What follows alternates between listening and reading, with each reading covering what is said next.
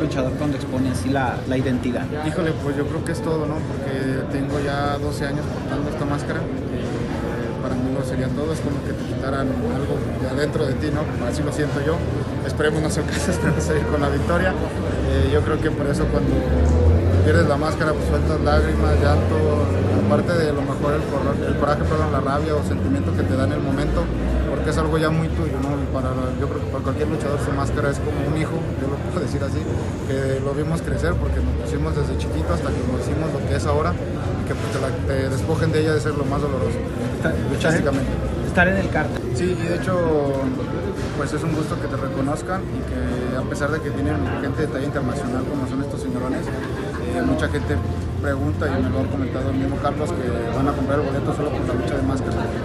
Entonces quiere decir que pues, no estamos haciendo las cosas tan mal, estamos dando buenos eventos y pues hay que seguirle dando. Muchas gracias por, por, el espacio. Mira, eh, yo creo que es la lucha más importante hasta el momento en mi carrera. Ya había expuesto mi máscara en algunos otros eventos, pero habían sido ruletas donde pues eran cuatro o seis luchadores, ¿no? Y había salido avante.